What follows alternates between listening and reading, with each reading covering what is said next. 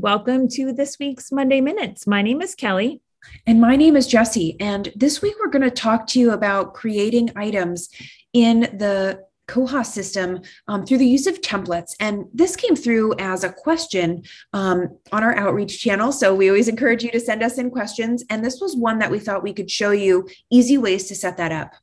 Yeah, absolutely. So we're going to go through and grab a file of records. Sorry, I'm on the wrong screen. We'll grab a file of records and add items to those. So these are just straight up bibs, and we're going to tell you what's required. And then, of course, you can customize it from that point on. So, probably our first step is we're going to create that MARC modification template, Jessie.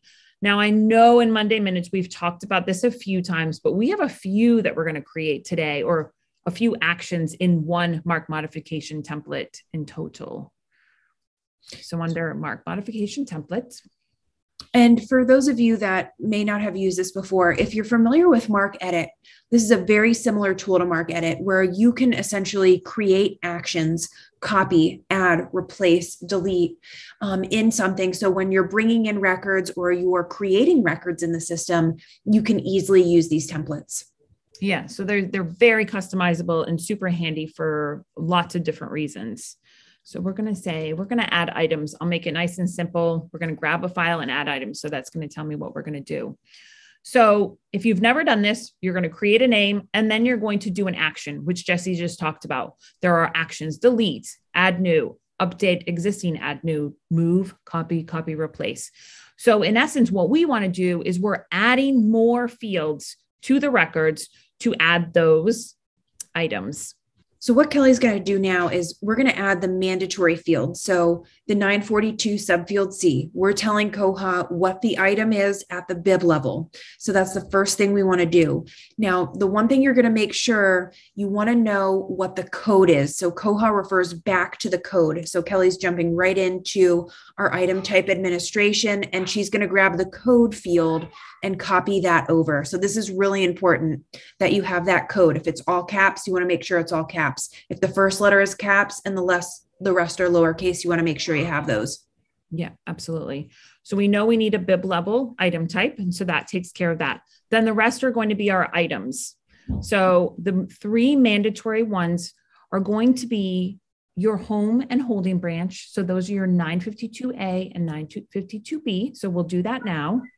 And I'm adding a new because we have no 952s in this MARC record. And we'll pop back over to our um, library because I don't know our branch code. They're kind of easy. So E is our branch code.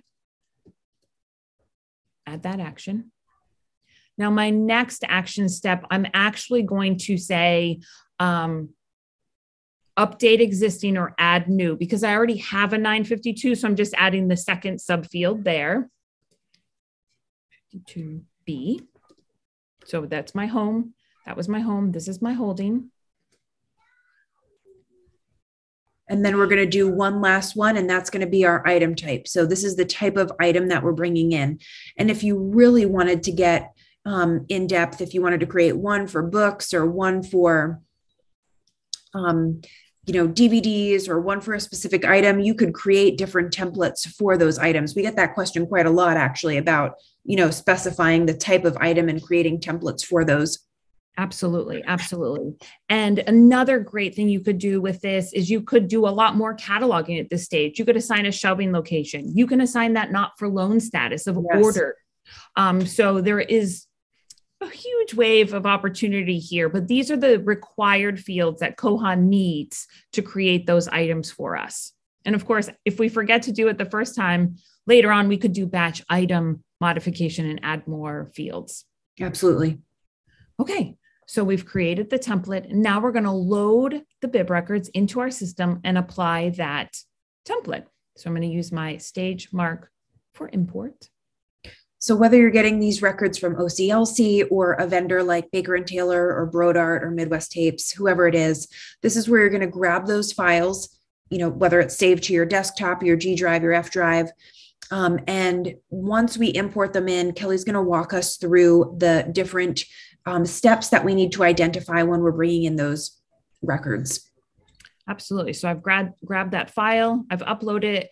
Now I have my settings. So if anybody has started to use those profile settings, if I already knew this was my standard Baker and Taylor import, I could apply that profile. Um, I'm just going to put my initials in my comment. I'm keeping my record type, encoding, and format the same. However, this could vary depending on where you're getting your records. And now here, this is where I'm going to apply that template we just created. So I made it nice and easy for myself. Add items. Add items.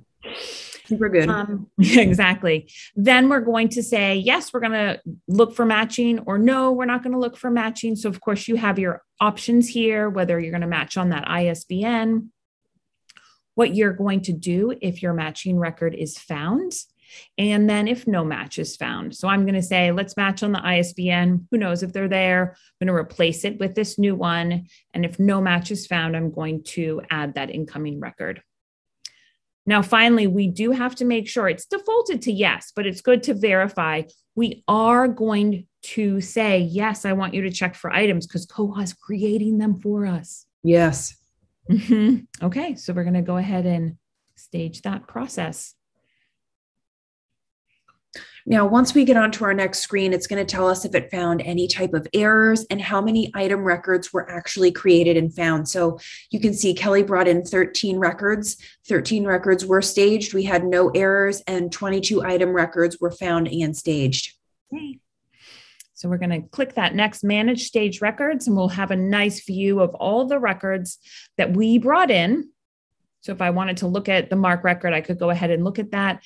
And there you can see what we've created has been added to it. Perfect. And now my next option will be just to say, yeah, let's go ahead and throw that into the old Koha system, see what sticks.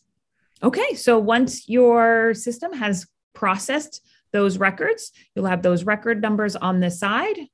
I'm a big tabber, so let's open that up in a new tab. And we can see that our MARC record came over with a book set at the East Campus, and we are good to go. So that's pretty fantastic to be able to just do a couple steps prior to that, maybe putting a barcode on it or adding any other information.